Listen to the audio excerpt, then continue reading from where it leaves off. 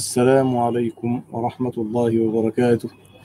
بسم الله والصلاة والسلام على رسول الله وعلى آله وصحبه ومن تبع هداه. وبعد ما زلنا في كتاب الممتع في شرح الآية الرومية وهو كتاب حقا ممتع. وتكلمنا في الدروس الماضية عن أنواع الكلام وأجزاء الكلام وعلامات الاسم وعلامات الفعل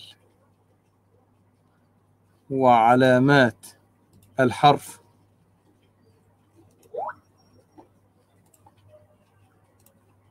ثم تكلمنا على الإعراب والبناء وأنواع الإعراب من رفع ونصب وجر وجزم. وتكلمنا كذلك على الفرق بين المفرد والمثنى والجمع. وتكلمنا على علامات الإعراب علامات الإعراب والإعراب بالحركات. وعلامات الإعراب للاسم المفرد وجمع التكسير وجمع المؤنث الفعل المضارع. تكلمنا عن هذه الأشياء وتكلمنا عن الأسماء الخمسة والأفعال الخمسة ودخلنا في باب الأفعال وبدأنا فعلا في باب الأفعال وتكلمنا عن الفعل الماضي ووقفنا عند عند فعل الأمر. توقفنا عند فعل الأمر. قال المصنف والأمر مجزوم أبدا. نحن قلنا قبل ذلك أن الفعل المضارع الأصل فيه الإعراب. الفعل المضارع الأصل فيه الإعراب. وقد يبنى وقلنا أن الفعل المضارع يبنى في حالتين إذا اتصلت به نون النسوة أو نون التوكيد الثقيلة أو الخفيفة المباشرة. وقلنا أن الفعل الماضي كذلك كما تكلمنا في المرة السابقة أن الفعل الماضي كذلك مبني أبدا. الفعل الماضي مبني أبدا.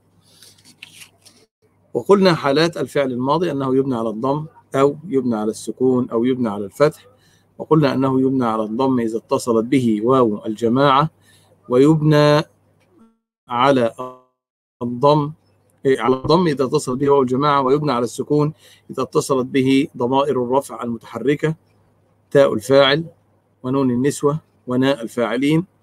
وقلنا أشكال تاء الفاعل تا تو تي تما تم تن.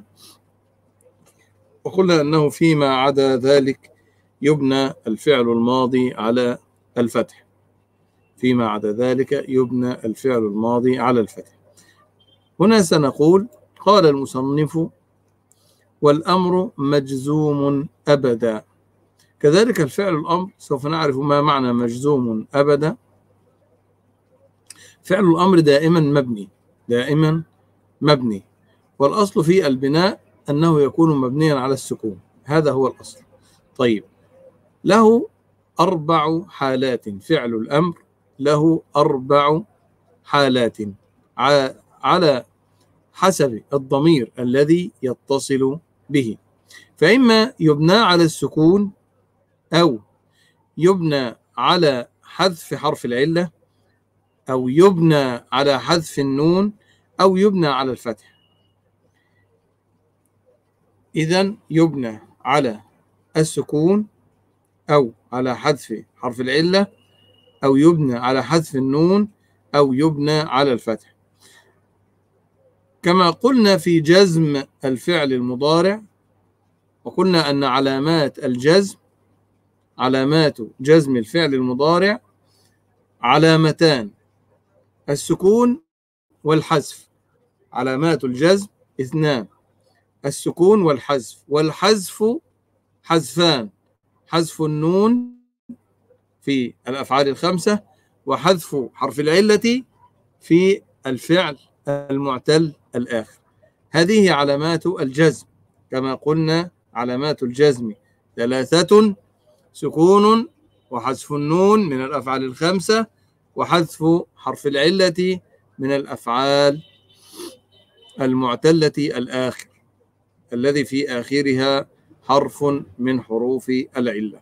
طيب كذلك فعل الأمر يبنى على أربعة أشياء. السكون حذف حرف العلة حذف النون أو يبنى على الفتح. طيب متى يبنى فعل الأمر على السكون؟ أولا إذا كان صحيح الآخر. فقط لا. إذا كان صحيح الآخر ولم يتصل بآخره شيء يبنى على السكون. فإذا كان فعل الأمر صحيح الآخر ولم يتصل بآخره شيء يبنى على السكون. نحو قول واذكر ربك. اذكر فعل فعل أمر وهو صحيح الآخر. آخره حرف صحيح ليس حرفا من حروف العلة. واذكر يبقى إذن هو مبني على السكون ودائما الفعل لا محل له من الإعراب. واذكر اذكر فعل أمر مبني على السكون لا محل له من الإعراب. فعل صحيح الآخر لم يتصل بآخره شيء. واذكر ربك. وربك مفعول به. طيب قوله واذكرنا قال أو اتصلت به نون الإناث. أو اتصلت أو اتصلت به نون الإناث. طيب. اتصلت به نون الإناث نحو قوله تعالى واذكرن ما يتلى في بيوتكن واذكرن ما يتلى في بيوتكن. الفعل أصله واذكر واتصلت به نون النسوة واذكرن يعني أنتن ما يتلى. إذا الفعل يبنى على السكون في حالتين إذا كان صحيح الآخر ولم يتصل بآخره شيء أو اتصلت به نون الإناث. نقول نون الإناث أو نون النسوة. هكذا أو هكذا. إذا كان صحيح الآخر مثل واذكر ربك ولم يتصل بآخره شيء أو إذا كان صحيح الآخر واتصلت به نون النسوة كذلك يبنى على السكون. هذا أول شيء. وإذا أردنا ممكن نكتب كذلك بعض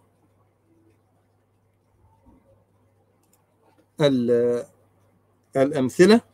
ممكن نكتب بعض الأمثلة.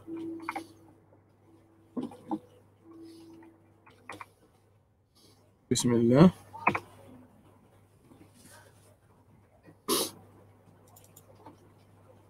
نكتب بعض الأمثلة. ونقوم بإعرابها كما تعودنا إن شاء الله تعالى معكم.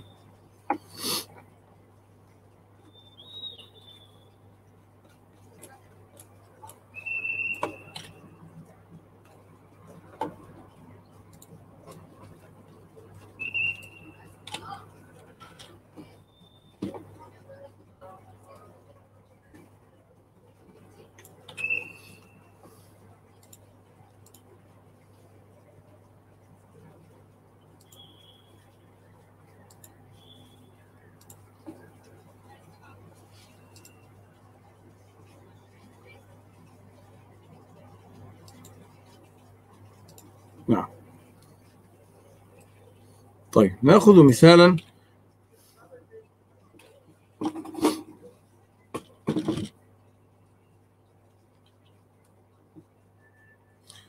نقول مثلا يا علي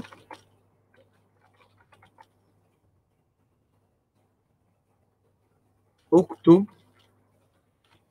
واجبك. يا علي اكتب واجبك. طيب. الآن نتكلم على فعل الأمر. يا علي اكتب. كيف نعرب كلمة اكتب أو الفعل اكتب؟ نقول اكتب. فعل أمر. أول شيء قلنا أننا ننظر إذا كانت الكلمة اسم أو فعل. هذا فعل. ثم ننظر في الزمن. إذا كان هذا فعل ماض أم مضارع أو أمر. نقول اكتب. هذا فعل أمر. اكتب. فعل أمر. فعل أمر. الفعل الأمر يكون مبني أم معرب. أم فعل أمر. فعل الأمر دائما مبني. دائما. ففعل فعل أمر مبني. مبني على. فإذا فعل أمر مبني على. فعل فعل أمر مبني. على. على ماذا؟ ننظر في الفعل إذا كان صحيح الآخر ولم يتصل بآخره شيء إذا نقول أنه مبني على السكون. نقول لا محل له من الإعراب. لا محل له من الإعراب. هذا شيء. مبني على السكون. لا محل له من الإعراب. جيد؟ هذا في كلمة اكتب. طيب كذلك إذا قلنا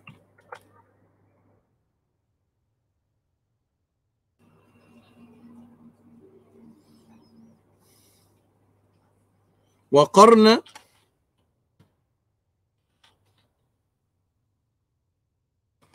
في بيوتكن. وقرن في بيوتكن. ولا تبرجن. وقرن في بي في بيو بيوتكن. طيب. الفعل قرن. هذا فعل أمر صحيح؟ قرن هذا أمر. قرن يعني اجلسنا في بيوتكن. هذا فعل أمر. كيف نقول؟ قرن طيب الفعل الأمر هذا صحيح الآخر أم معتل الآخر هذا صحيح الآخر. من الفعل وقر ي... قرن. وقر. فعل صحيح. الآخر آخره حرف صحيح ليس حرفا من حروف العلة. واتصلت به نون النسوة. قرن يعني أنتن جيد؟ فقرن كذلك فعل أمر مبني على ماذا؟ على السكون. لماذا على السكون؟ لاتصاله بنون النسوة. فعل صحيح الآخر واتصل بنون النسوة كذلك يبنى على السكون. نقول لاتصاله بنون النسوة. لا محل له من الإعراب. لاتصاله بنون النسوة. لا محل له من الإعراب. قرن. جيد؟ كذلك ولا تبرجنا تبرج الجاهلية الأولى. تبرجنا ولا تبرجنا طيب هنا بس تبرجنا ليس فعل أمر. ليست مشكلة إن شاء الله. هذا أول شيء. إذا اكتب فعل أمر. مبني على السكون لا محل له من الإعراب. قرن كذلك فعل أمر. مبني على السكون كذلك لاتصاله بنون النسوة وهو فعل صحيح الآخر. طيب نرجع إلى الكتاب.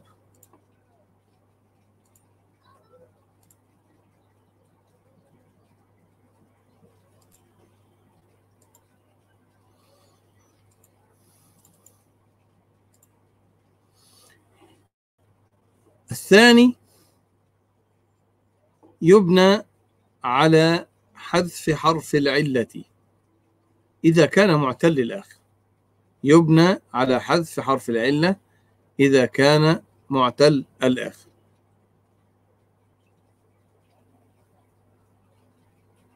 طيب حذف حرف العلة. نحن قلنا يعني عندنا قاعدة في فعل الأمر.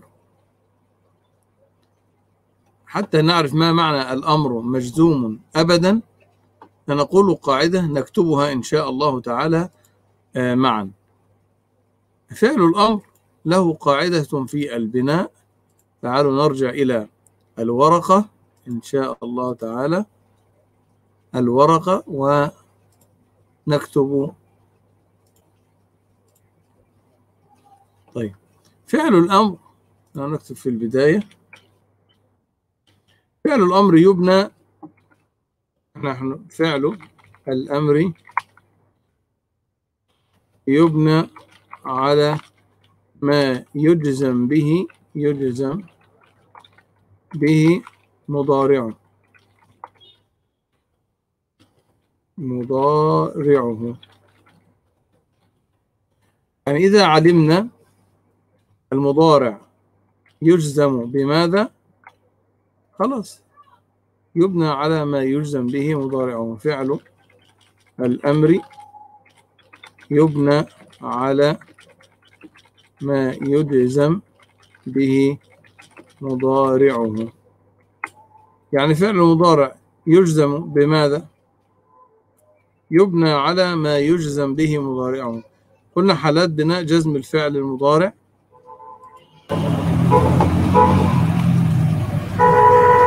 أنه يكون مجزوم بحذف النون أو مجزوم بالسكون إذا كان صحيح الآخر ويجزم بحذف حذف النون إذا كان من الأفعال الخمسة وإذا كان معتل الآخر يجزم بحذف بحذف حرف العلة. فلا بأس. طيب والفعل المضارع إذا اتصلت به نون التوكيد يكون مبني على الفتح. يكون مبني على الفتح. فقلنا إذا يبنى على ما يجزم به مضارعه. طيب هذه قاعدة نحفظها جيدا إن شاء الله تعالى. فإذا كان الفعل قلنا الفعل المضارع صحيح الآخر ولم يتصل بآخره شيء يبنى على السكون. كذلك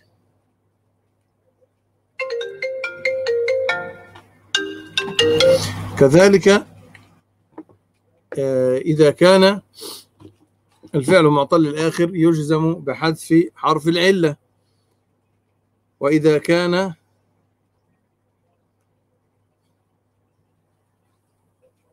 متصلا بنون التوكيد قلنا أن فعل الأمر يكون مبني ويبنى على الفتح إذا اتصلت به نون التوكيد ويبنى على السكون إذا اتصلت به نون النسوة.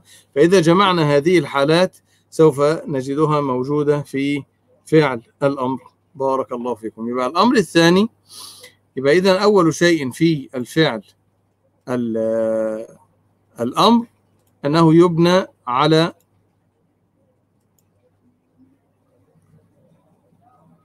السكون إذا لم يتصل به شيء ويبنى على السكون كذلك إذا كان صحيح الآخر ولم واتصل به نون النسوة. طيب الأمر الثاني يبنى على حذف حرف العلة. إذا كان معتل الآخر إذا كان معتل الآخر. نحو قوله تعالى أدعو إلى سبيل ربك بالحكمة والموعظة الحسنة وقوله تعالى اتق الله يا أيها النبي اتق الله ونحو قوله تعالى وانهى عن المنكر وأمر بالمعروف وانهى عن المنكر طيب نأخذ من هذه الأمثلة ونكتب الإعراب. إن شاء الله تعالى.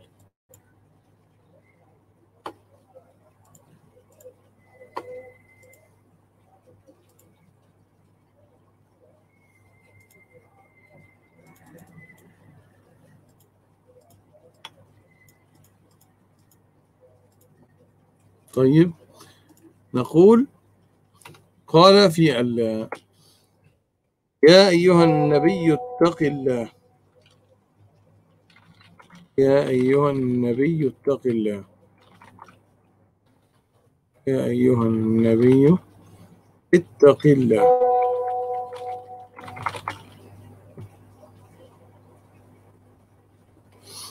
طيب الفعل اتق الله. الفعل التقي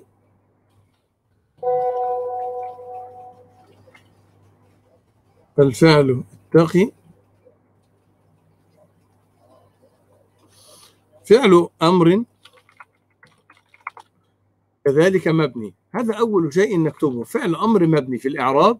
فعل أمر مبني. اتقي فعل. من الفعل ماذا؟ من الفعل اتقى يتقي اتقي اتقاء. اتقى اتقى يتقي اتقي اتقاء. فعل أمر مبني. مبني. مبني على سننظر بقى ننظر. فعل مبني مع فعل أمر ماضي مبني. مبني على على ماذا؟ ننظر إذا كان صحيح الآخر أو معتل الآخر. طيب صحيح الآخر أو معتل الآخر. اتقى اتقي من الفعل اتقى. آخره ألف. إذا هذا معتل الآخر. اتقى يتقي. اتقى يتقي. إذا هذا فعل أمر معتل الآخر بالياء. يتقي. ننظر إلى المضارع. يتقي. يبقى فعل أمر مبني على. قلنا أنه فعل معتل الآخر. إذا يبني يبنى على حذف حرف العلة. طب إذا ما هو مبني على حذف حرف العلة لأن مضارعه يتقي إذا قلت لأحد أن هذا الرجل لم يتقي الله في كذا وكذا. إذا يتقي فعل مضارع مجزوم بلم وعلامة جزمه حذف حرف العلة.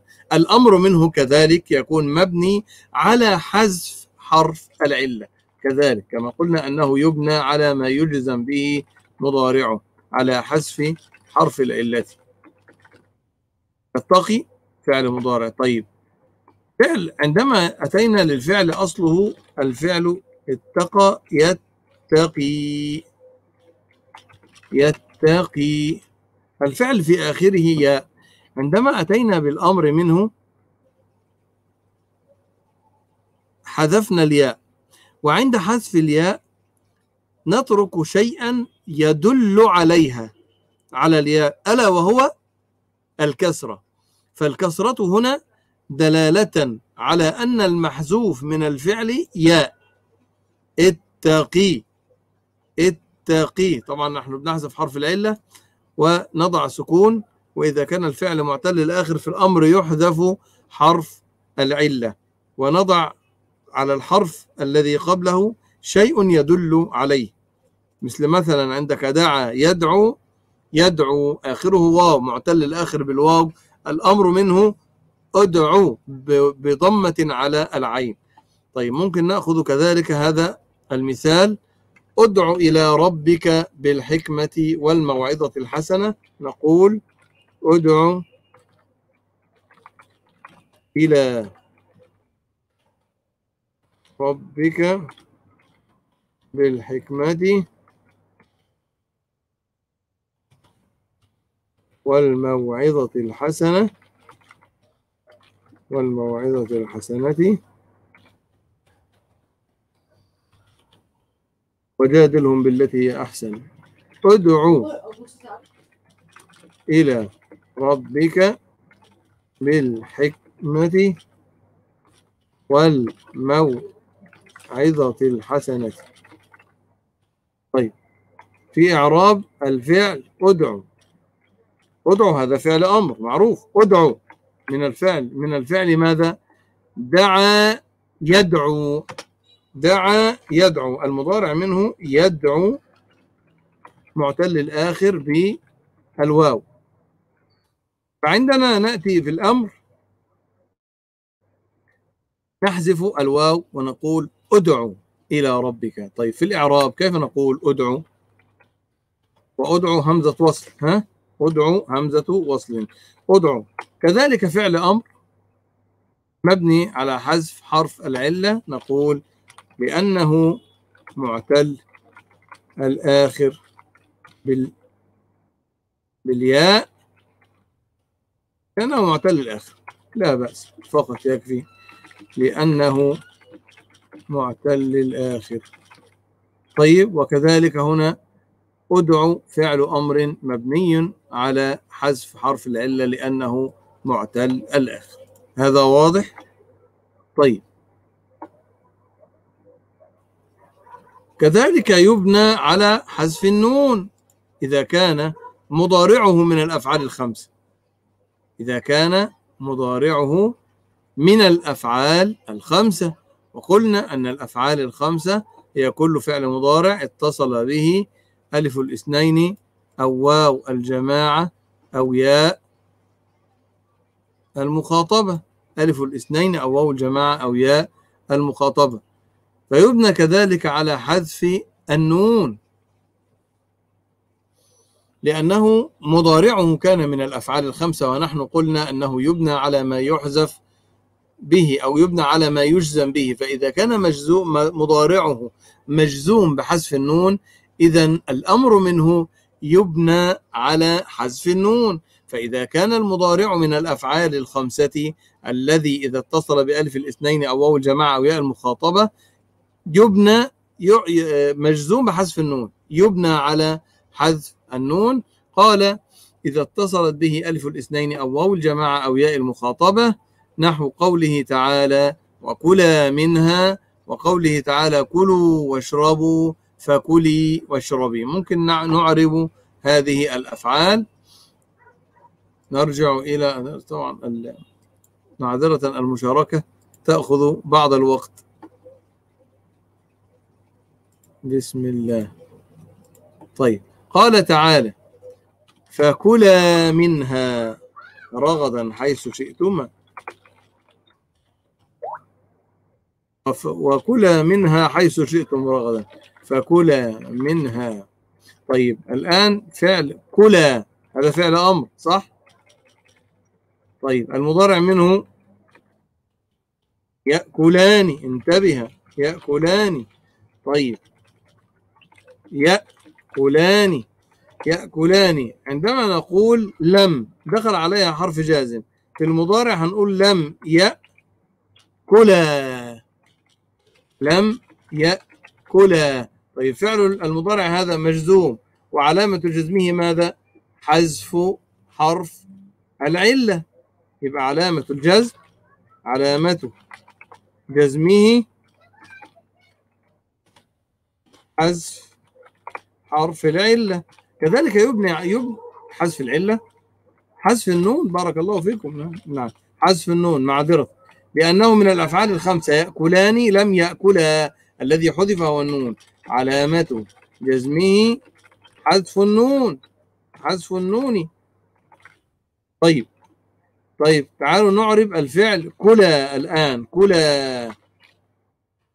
نقول فعل أمر مبني على حذف النون. لماذا؟ لأن مضارعه كان من الأفعال الخمسة. النون على حذف النون. طيب قال كذلك كلوا.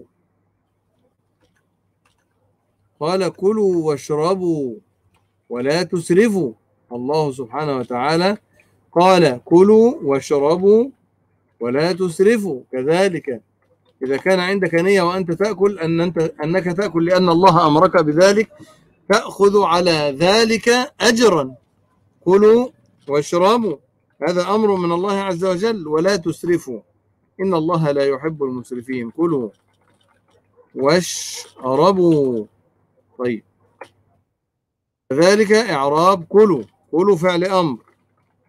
كلوا فعل أمر. مبني على ماذا؟ كذلك مبني على حذف النون. لماذا؟ المضارع منه كذلك يأكلوا. أو يأكلون الفعل المضارع يأكلون. المضارع منه يأكلون. طيب يأكلون. يأكلون ويشربوا يأكلون. مضارعه من الأفعال الخمسة. وإذا جاء مجزوما نقول لم يأكلوا. لم يأكلوا. حذفت النون. لم يأكلوا. حذفت النون. لماذا حذفت النون؟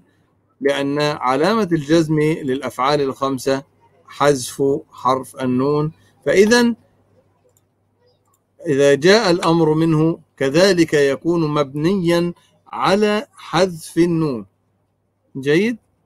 يا أيها النبي اتق الله يتقي. نقول في المجزوم لم يتقي. يتقي كذلك علامته علامة جزمه حذف حرف العلة.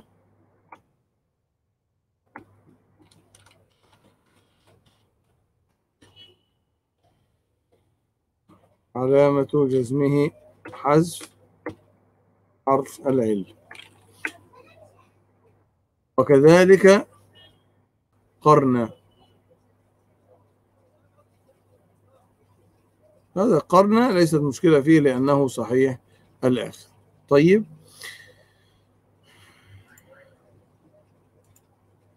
كذلك قال الله تعالى كلي واشربي وقري عينا جيد. قال كلي واشربي وقري عينا كلي. واشربي وقري عينا. سورة مريم.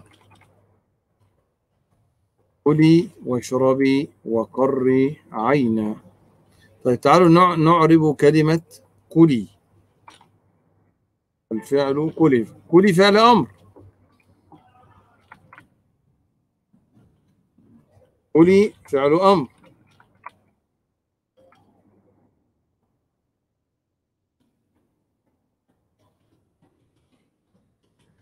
فعل أمر مبني. ماذا؟ كذلك كلي أصله تأكلين صح؟ تأكلين. هذا المضارع منه تأكلين. ونقول لم تأكلي. لم تأكلي. لم تأكلي كذلك علامة الحذف علامة جزمه حذف النون علامة الجزم حذف النون. كذلك هنا نقول فعل أمر مبني على حذف النون كذلك. فعل أمر مبني على حذف النون. أرجو أن يكون هذا واضحا. سهل إن شاء الله تعالى. إذا الفعل الأمر له حالات في البناء.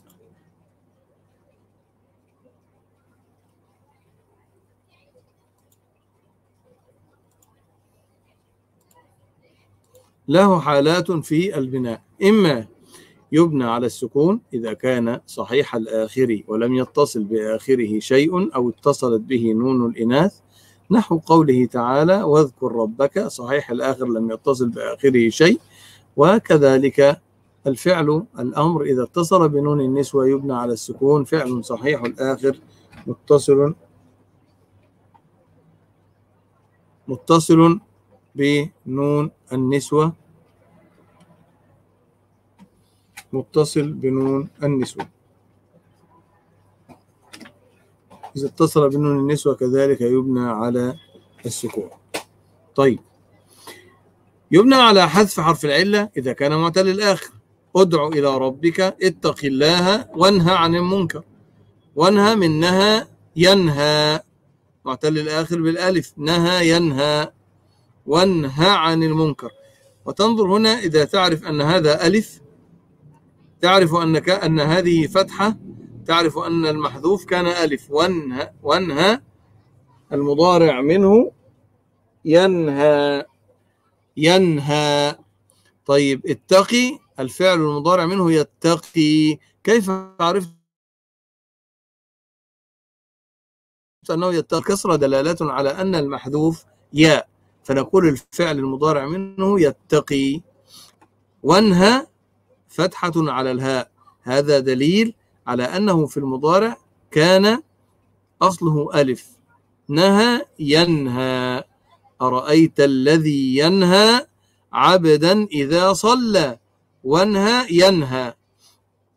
كذلك أدعو. هنا ضمة.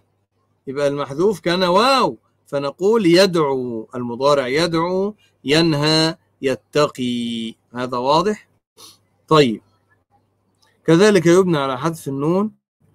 يأكلان يأكلون تأكلين. نقول وكلا منها حيث شئتم رغدا رغد في البقرة. ونقول كلوا واشربوا ولا تسرفوا كذلك في البقرة. وقوله تعالى فكلي واشربي وقر عين. هذا في مريم معروف. طيب فقط يبقى شيء في فعل الأمر. علمنا الله وإياكم علما نافعا. قال يبنى على الفتح. يبنى على الفتح. طيب متى يبنى الفعل المضارع على الفتح؟ طبعا الفعل المضارع إذا كان متصل بنون التوكيد قلنا لا يعرب يكون مبني. إذا اتصل بنون التوكيد أو نون النسوة كما قلنا هنا نون النسوة يبنى على السكون يبنى على السكون. فإذا الأمر منه يبنى على السكون إذا اتصل بنون النسوة وإذا اتصل بنون التوكيد يكون مبني على الفتح كما أن فعل المضارع الفعل المضارع يبنى على الفتح إذا اتصلت به نون التوكيد. نحن نحو قولك اشكرن الله اشكرن نون التوكيد الثقيلة نقول اشكرن الله ونقول يشكرن كل واحد منكم الله يشكرن. طيب نعرب هذا المثال. بارك الله فيكم. أشكرن. أشكرن. ندخل على آه الورقة. بسم الله.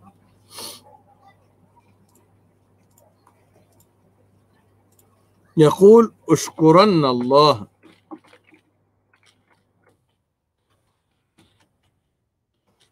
اشكرن الله.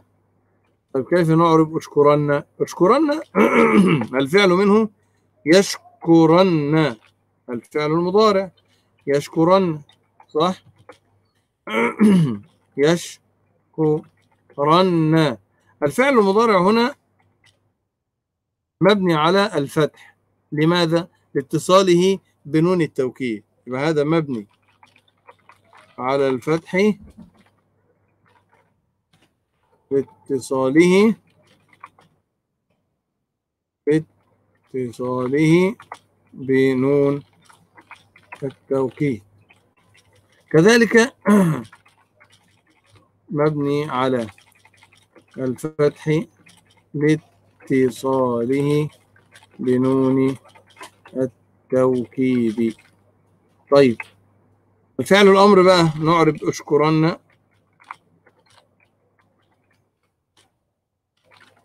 أشكرن فعل أمر مبني على الفتح. مبني على الفتح. لماذا الفتح؟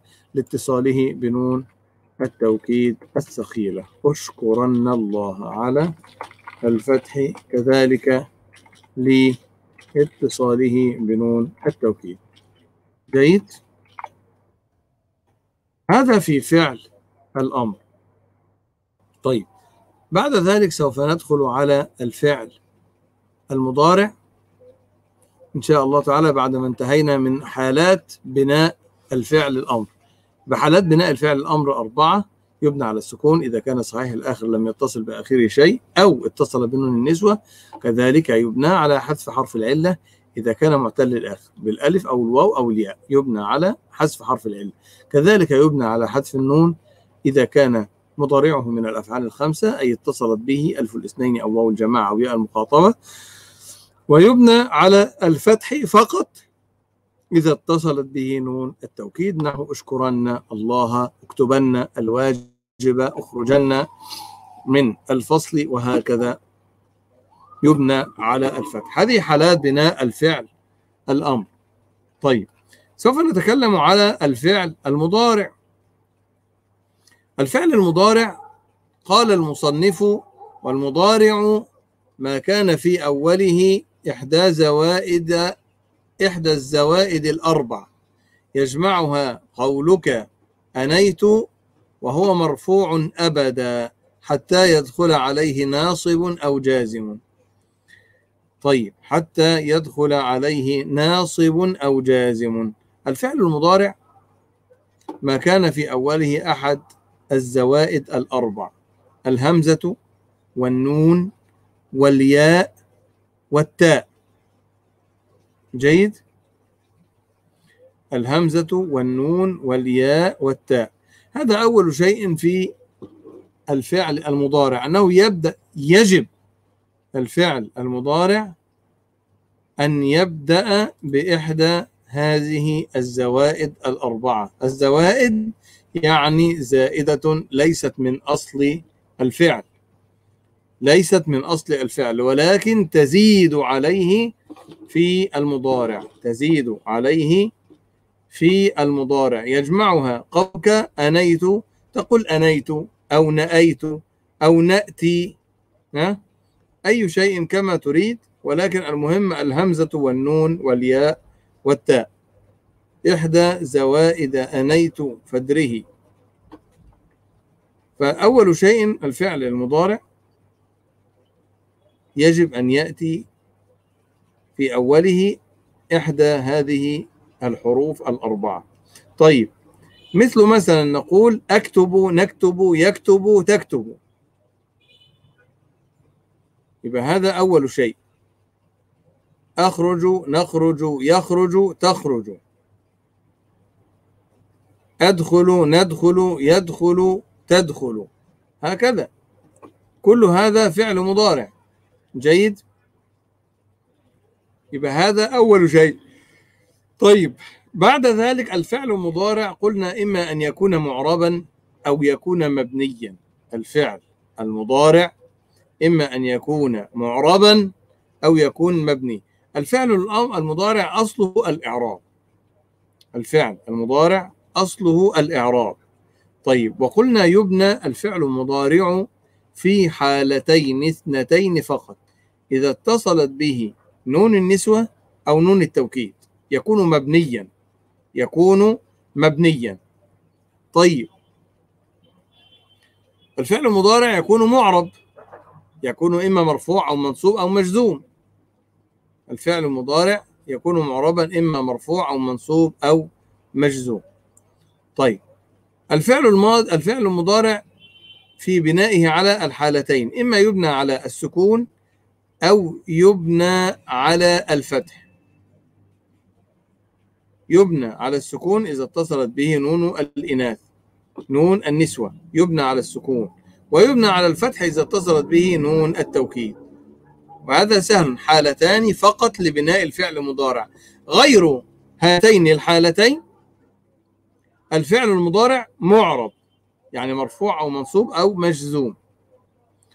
قال تعالى والوالدات يرضعن وقال تعالى لنخرجنك يا شعيب من أرضنا أو لتعودن في ملتي لنخرجنك.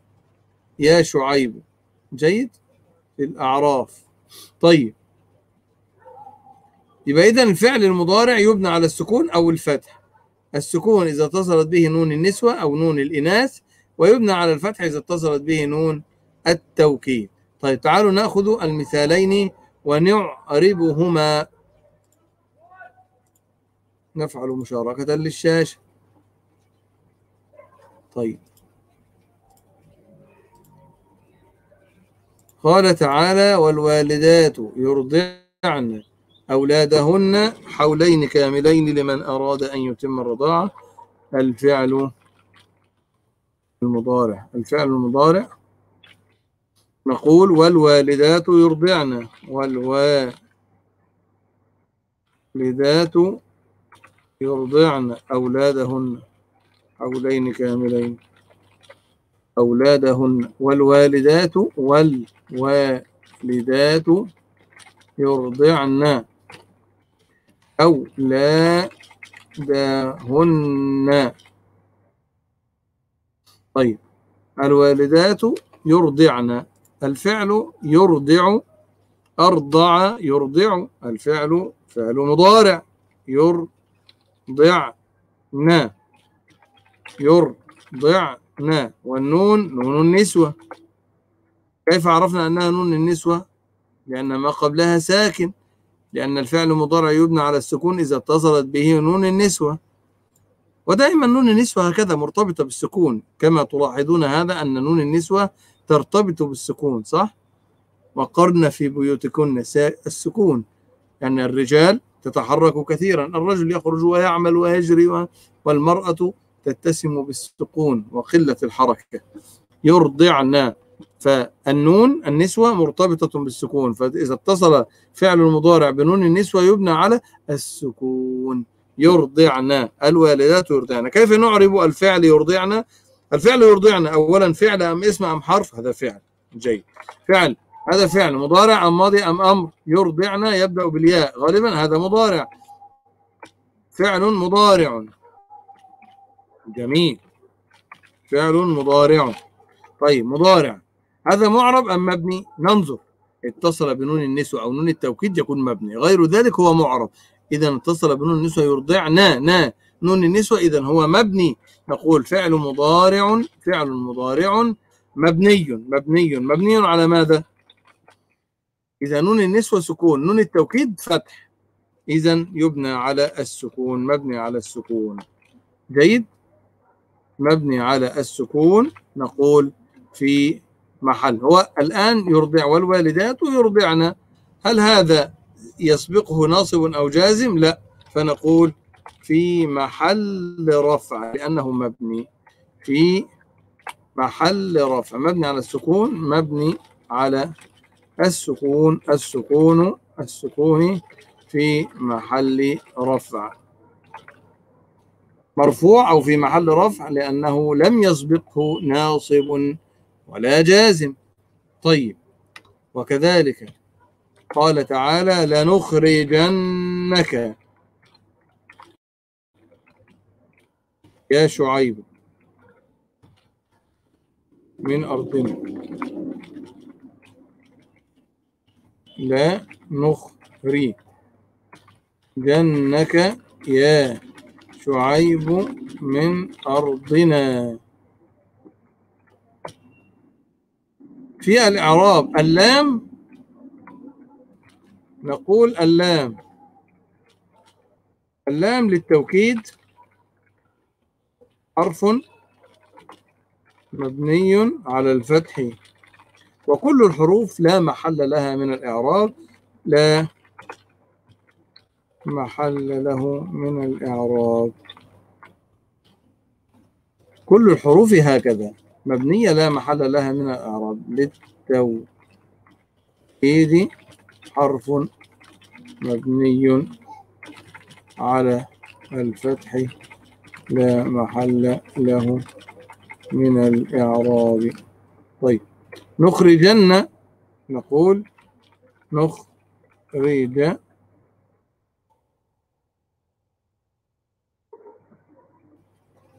نخرج نقول فعل مضارع. وكيف عرفنا أنه فعل مضارع؟ لأنه يبدأ بالنون فعل مضارع مضارع مضارع ما شاء الله. فعل مضارع. طيب هذا فعل مضارع. مبني أم معرب؟ لنخرجن نا نون التوكيد فعل مضارع مبني لاتصاله بنون التوكيد. مبني. لماذا مبني؟ لأنه متصل بنون التوكيد. وقلنا أن الفعل المضارع يبنى إذا اتصل به نون التوكيد أو نون النسوة. نون التوكيد أو نون النسوة.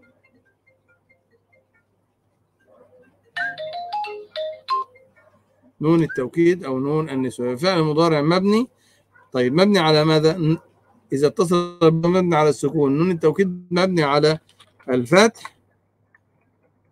مبني على الفتح.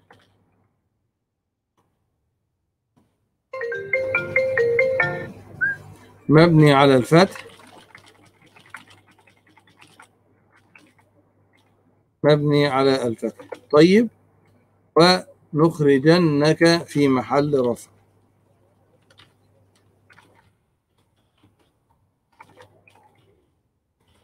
في محل رفع. طيب نون التوكيد كذلك نون التوكيد. فنقول حرف توكيد مبني على الفتح لا محل له. من حرف توكيد مبني على الفتح لا محل له من الإعراب. طيب الكاف لنخرجنك. الكاف إذا اتصلت بالفعل بارك الله فيكم دائما تكون مفعول به. ضمير متصل مبني في محل نصب مفعول به. طبعا هو هذا مبني على الفتح. نخرجنك ك. على الفتح. ضمير متصل. ضمير متصل. مبني على الفتح في محل نصب مفعول به. طيب. هذا في إعراب لنخرجنك. يا شعيب وكذلك والوالدات يرضعن. يبقى هاتان الحالتان اللتان يبنى فيهما الفعل المضارع. الفعل المضارع. طيب بعد ذلك ننظر في الكتاب إن شاء الله تعالى.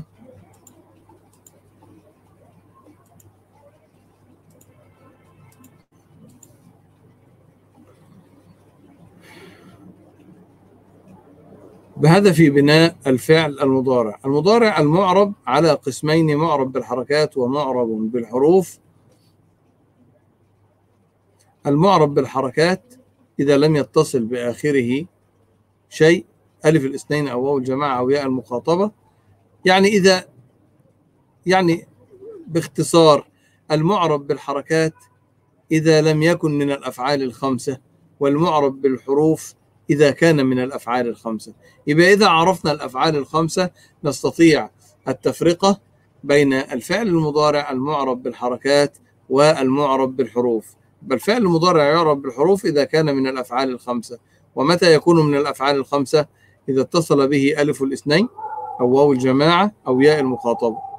يذهبان وتذهبان ويذهبون وتذهبون وتذهبين وكذلك إذا لم يتصل به ألف الاثنين أو الجماعة أو ياء المخاطبة يكون معرب بالحروف.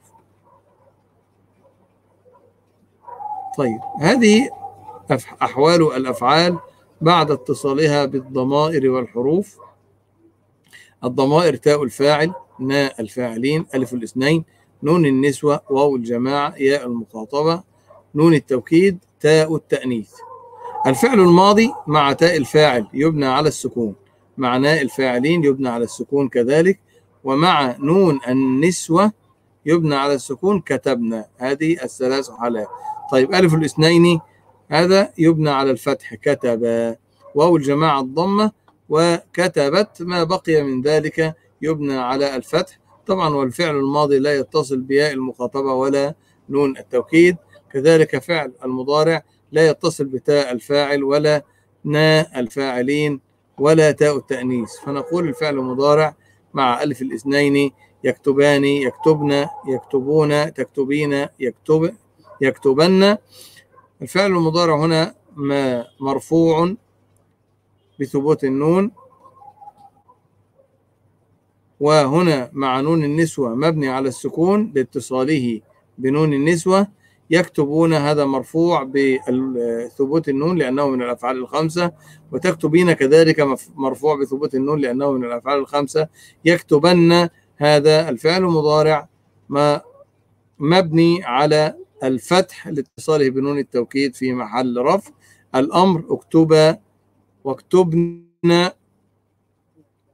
واكتبوا واكتبي واكتبن. فعل الأمر كما قلنا له أربع حالات. إما أن يبنى على السكون إذا اتصل به نون النسوة وأكتبوا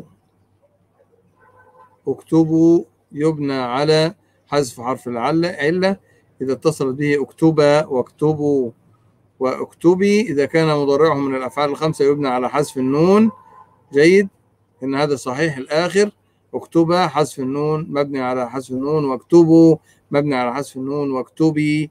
مبني على حذف النون واكتبن. مبني على السكون واكتبن. اكتبن. مبني على الفتح لاتصاله بنون التوكيد. طبعا هنا يبقى فعل الأمر إذا كان من الأفعال المعتلة الآخرة يعني يبنى على حذف حرف العلة. الفرق بين تاء الفاعل وتاء التأنيث هنا جدول جميل جدا. يفرق الشيخ بين تاء الفاعل وتاء التأنيث ونون الإناث ونون التوكيد.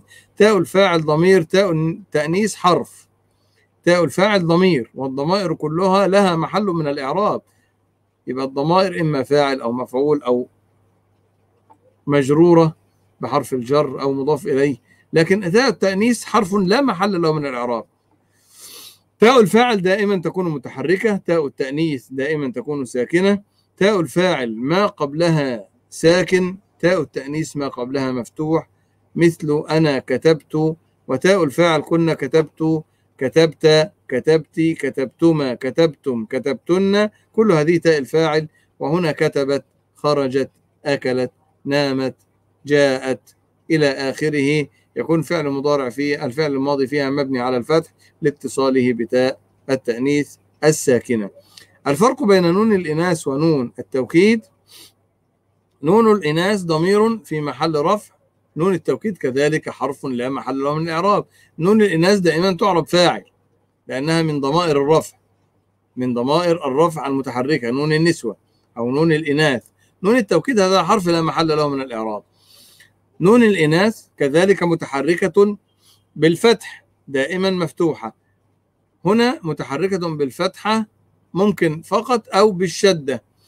نون الإناث دائما قبلها ساكن لأن الذي يتصل بها يبنى على السكون سواء الفعل الماضي أو فعل مضارع أو فعل الأمر. وهنا كذلك نون التوكيد قبلها مفتوح دائما لأن من يتصل بنون التوكيد يبنى على الفتح. مثل الطالبات يكتبن الطالبات لا تكتبن. يا أيها الطالبات لا تكتبن الدرس. لا تكتبن الآن. فعل مضارع مبني على الفتح لاتصاله بنون التوكيد. طيب إن شاء الله تعالى يعني يكفي هذا اليوم وننظر إذا كان أحد عنده سؤال إذا كان عندنا وقت إن شاء الله تعالى. نكتفي إن شاء الله تعالى. طيب نكتفي إن شاء الله تعالى وننظر في هذا المخطط في الدرس القادم. جزاكم الله خيرا. سبحانك اللهم وبحمدك أشهد أن لا إله إلا أنت نستغفرك ونتوب إليك. السلام عليكم ورحمة الله وبركاته.